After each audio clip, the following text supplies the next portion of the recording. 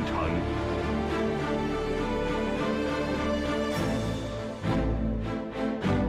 今日说法，盗窃高手两分钟犯案，离开之后几乎不留痕迹，他能躲得了吗？他如果坐一起，可能找不到规律。视频侦查，蹲点守候，全力出击。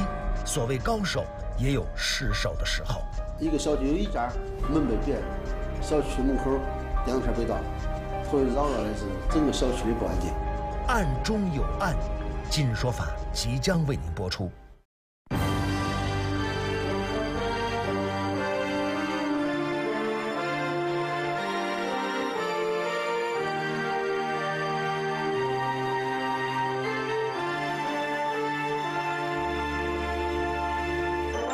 二零一八年六月开始，河南开封市祥符区频发车内盗窃案件。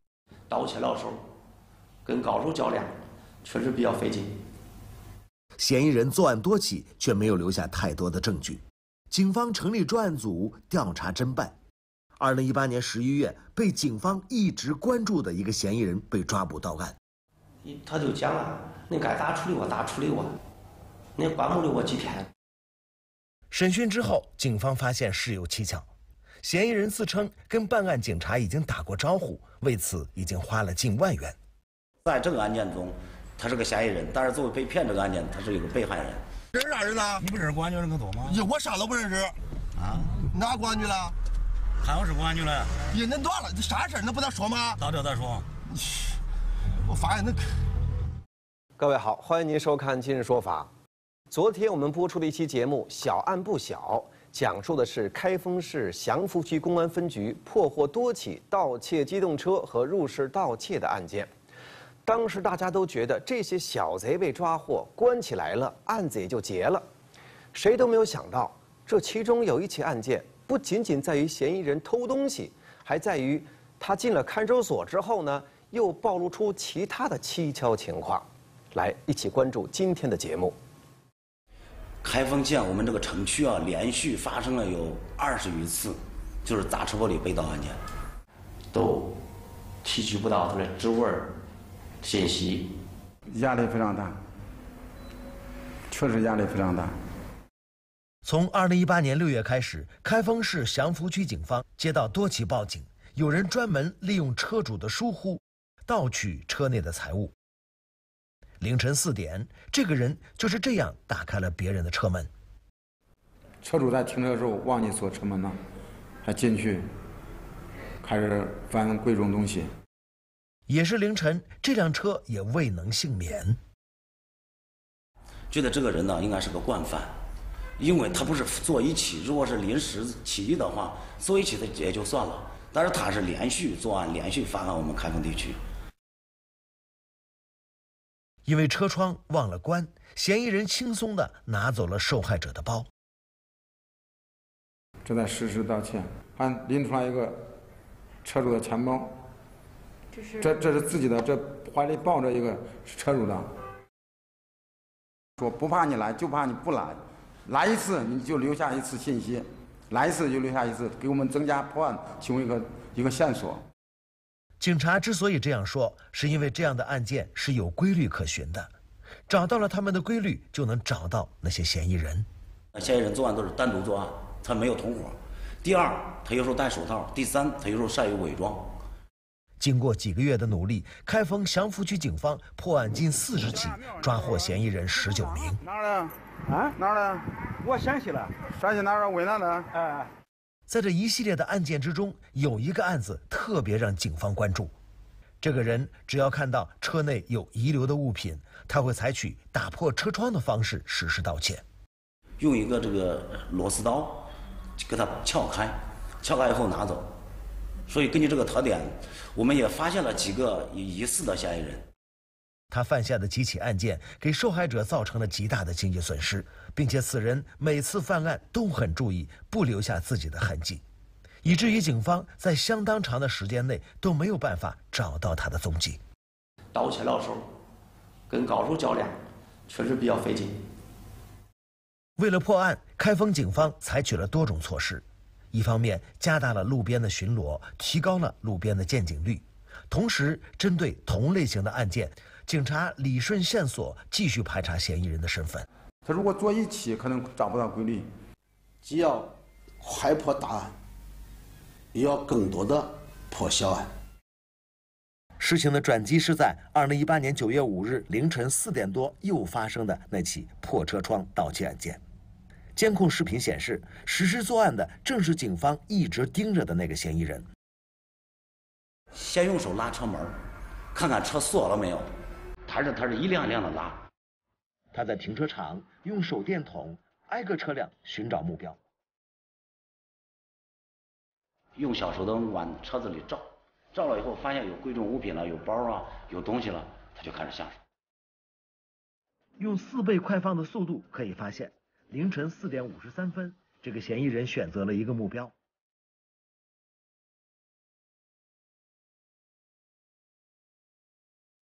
他使用了一个工具，开始撬汽车的后排玻璃。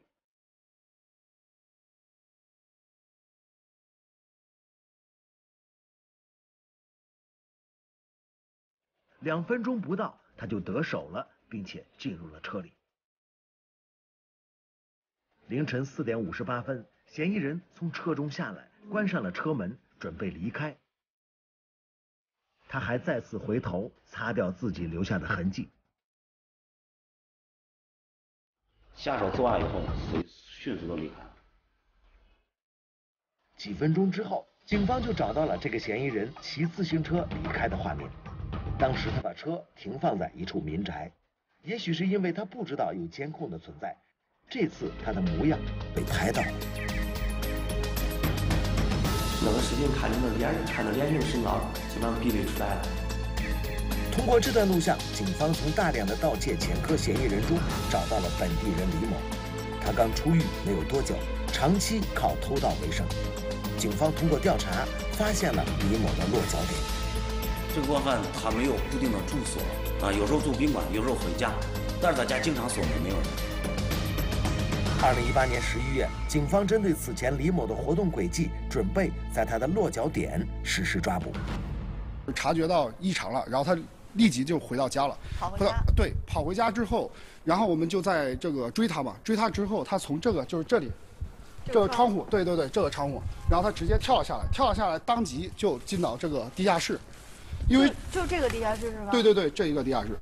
针对这样一个惯犯，开封警方原本就预料到抓住他并不容易，警方开始继续布控，调查李某有可能躲藏的地方。同时留下了人继续蹲守他的家。清晨时候的抓捕，因为嫌疑人非常熟悉地形，最后还是逃脱了。警方当时考虑，一方面他们要避免抓捕的时候出现意外伤害的发生，而另外一方面，李某的身份已经确定，抓到他只是时间问题。随后，警方对嫌疑人进行了网上通缉，而逃走的嫌疑人也坐不住了，他开始。盘算着另外的一件事情。在那个时候，没人知道当时侥幸逃跑的李某消失了几天去做什么了。但是，负责蹲守李某家的警察发现，两天之后，李某就大摇大摆地回家了。根据他的行踪规律，感觉他有几次他都，他很大大方方的都回家了。有有安排人员给他蹲，跟蹲守。蹲守了，又蹲守了，中间又隔了四天，可冷的天了天都可冷了，可凉了。李某的行为让祥符区警方有些惊讶，他们再次调整了抓捕方案，这一次要保证万无一失。对咱安，对咱的安全呢，对他的安全呢，都没啥好处，咱考虑住，咱嗯设设置了设置了一个抓捕方案，咱的人员上去给他抓住了，给控制了。李某是个惯犯，是个老贼。其实警察也没有料到，他们能这么快就找到李某，并且把他抓捕归案。事情进行到这里，警察们心里也觉得这起案件应该可以画上句号了。然而，谁都没有想到，李某根本不配合，并且跟抓他的警察说：“你们也甭费劲儿了啊，过几天就得把我给放出去。”这又是怎么回事呢？他就讲了：“你该咋处理我咋处理我。”啊，该咋处理咋处理吧，我啥也不跟他说。你关不了我几天。被捕之后，警方对嫌疑人李某进行了审讯。这个李某拒绝回答问题，并且对警方的审讯并不在乎。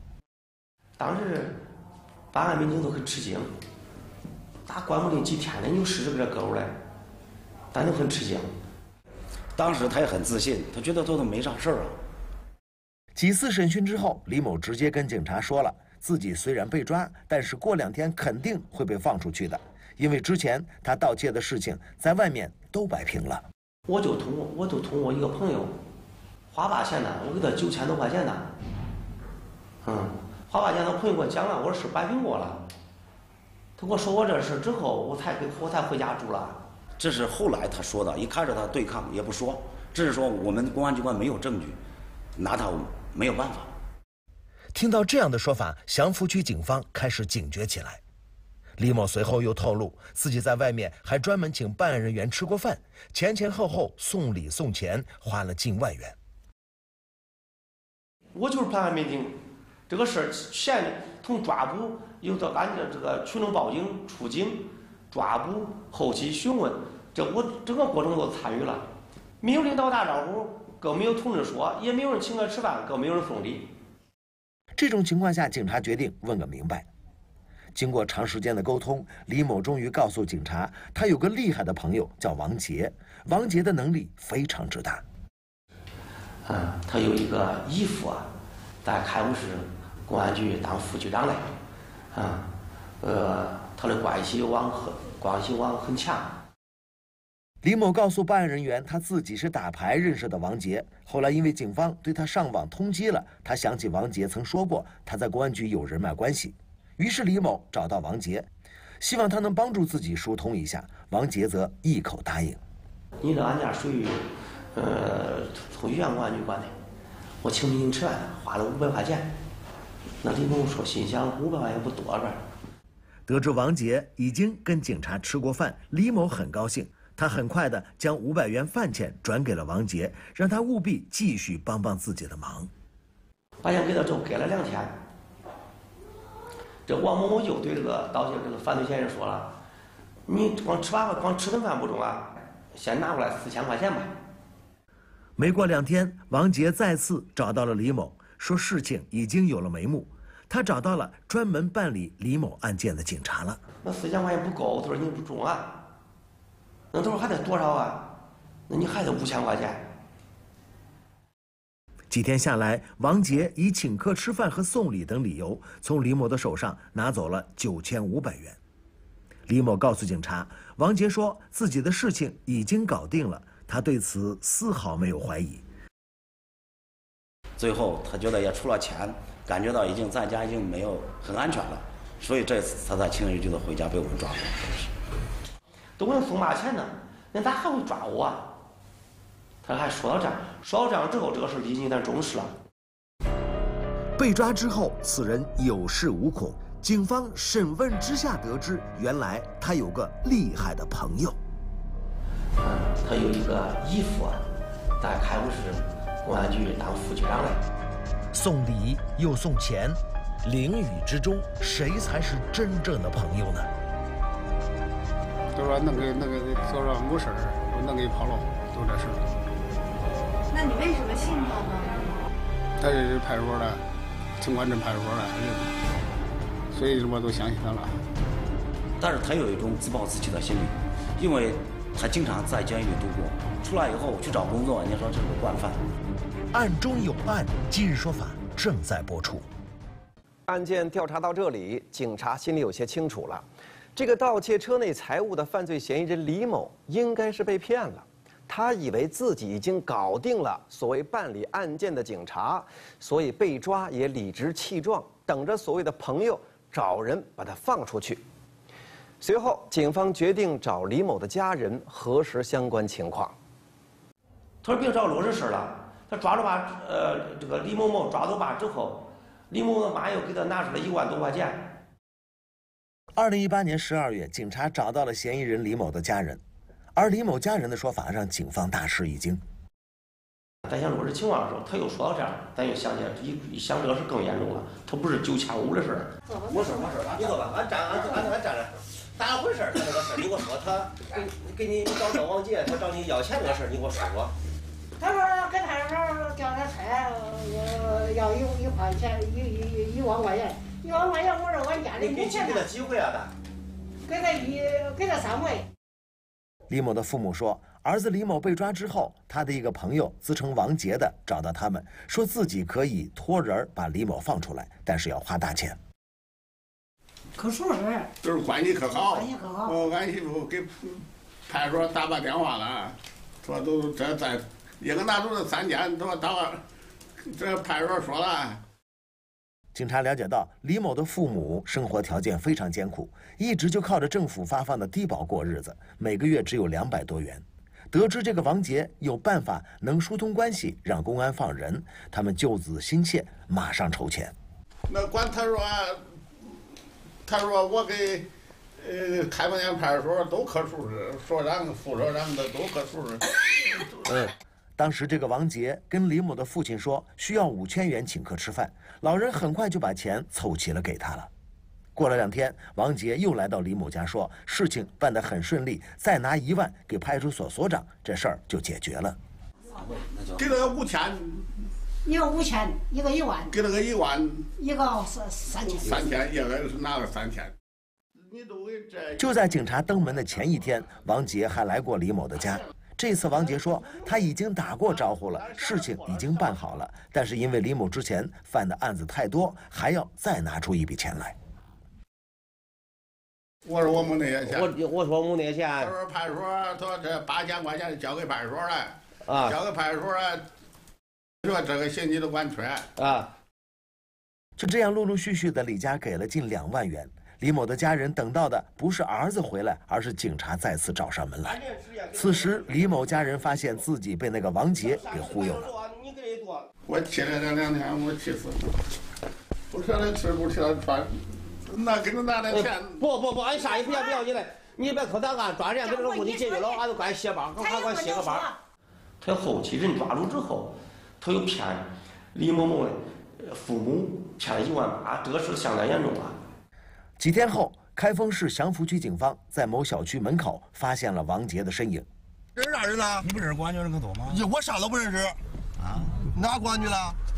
开封市公安局的。人恁断了，这啥事儿？那不能说吗？到这再说。我发现那，那我吓一跳呢。得知找自己的人是警察，王杰显得很轻松。他说自己一定配合警方的工作。我跟你，我也没给你盘啥东西。我的意思是，你叫我弄啥，我配合恁，知道不知道？嗯，别给我提这提那啊。钟哥，谁是公安局？我不认识，不认识。中中中。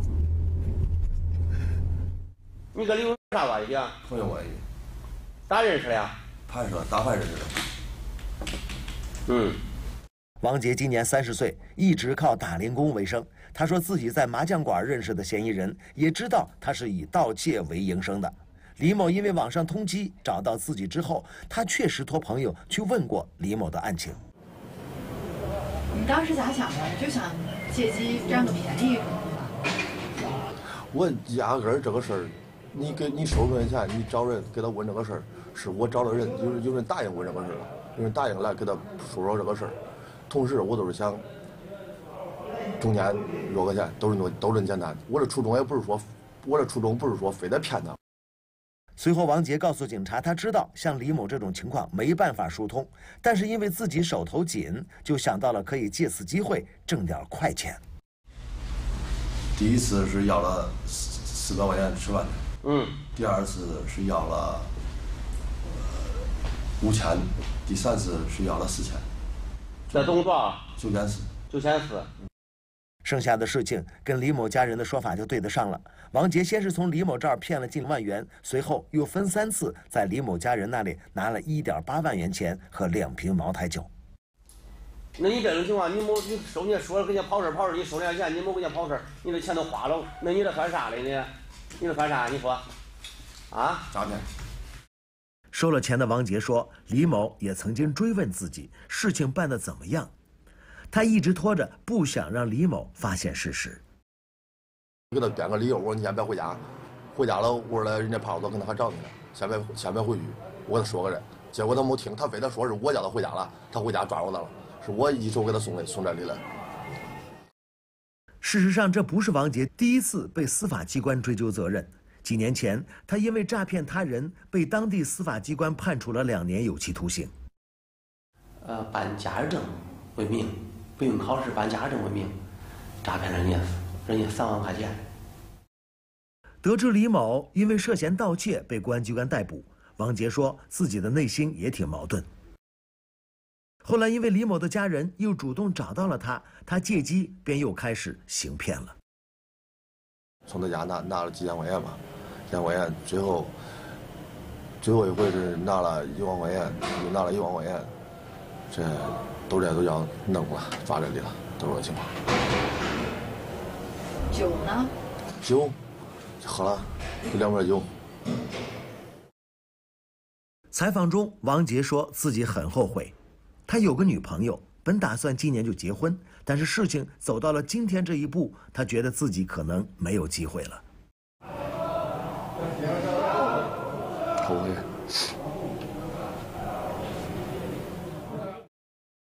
今天我们节目请到的嘉宾是中国人民公安大学的杨玉娟教授，欢迎杨教授。杨教授，这起案件当中呢，犯罪嫌疑人王杰，他是骗了李某和李某家人三万多块钱，说这事儿我能帮你搞定啊，能让你免于这个刑事的追究。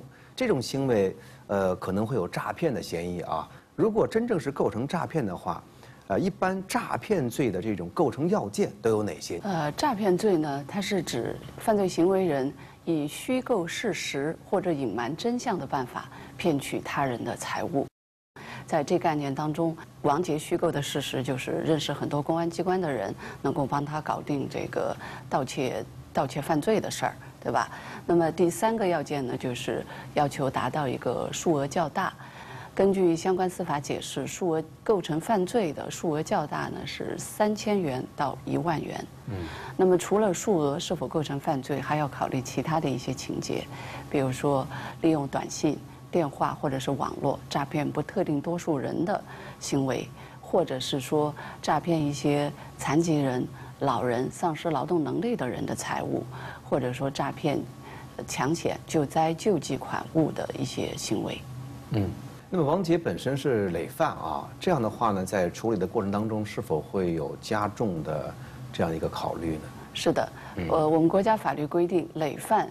是应当从重处罚，嗯，而且不能适用缓刑，也不能假释。嗯，累犯是有个时间的限制的，是吧？是在五年之内，是吧？对的，呃，我们国家规定的累犯呢，是指，呃，被判处有期徒刑以上刑罚的犯罪分子，嗯，在有期徒刑执行在刑罚执行完毕或赦免之后的五年内，又犯应当判处有期徒刑以上刑罚的这种情况。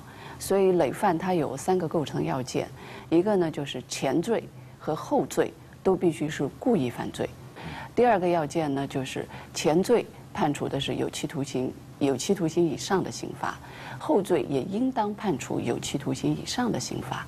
第三个构成要件呢就是时间条件，是在前罪的刑罚执行完毕或者赦免之后的五年内，又犯，应当。判处有期徒刑以上的刑罚的这种情况才是累犯。嗯。二零一九年一月，王杰主动退还了李某和他家人的将近四万元钱。这件事情让一直不肯配合警方工作的李某受了触动。面对警察，他将自己做过的十几起案件都详细的交代了。自己也没啥目标，对不对？就买买螺丝刀，啊，也不是说也。我我我能看透这个车里头有啥东西，对不对？那谁也看不透，对不对？那路边进来车多了。你就是用一个手电筒先照一下。啊。李某向警方交代了自己的作案过程，也表示会尽量赔偿受害者的损失，争取宽大处理。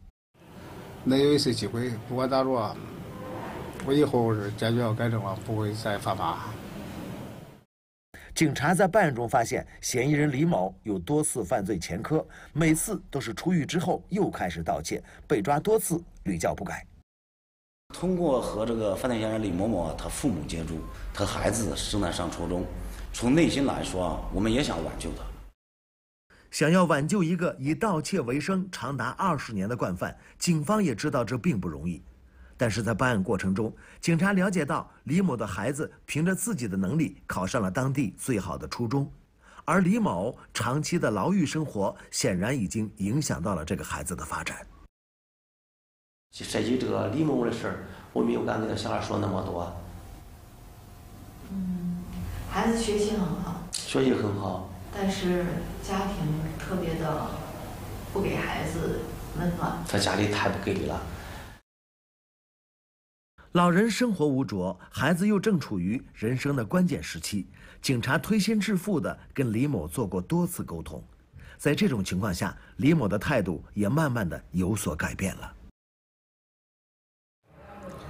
我现在唯一关心就是我的孩子。现在，我也知道自己做错了，也五十多了，我也想改正，也不想再在在这里边。当时我说犯罪嫌疑人李某某，你现在五十了，你你并且孩子都已经上初中了，你以后一这种生活怎么办？我感觉着这一辈子，我说句来话，我对这生活，对家里的事也非常绝望，知不知道？但是他有一种自暴自弃的心理，因为他经常在监狱里度过。出来以后去找工作，人家说这是个惯犯，谁都不敢要他。二零一九年二月，犯罪嫌疑人李某因为犯盗窃罪，被开封祥符区法院判处一年六个月有期徒刑，并处罚金五千元。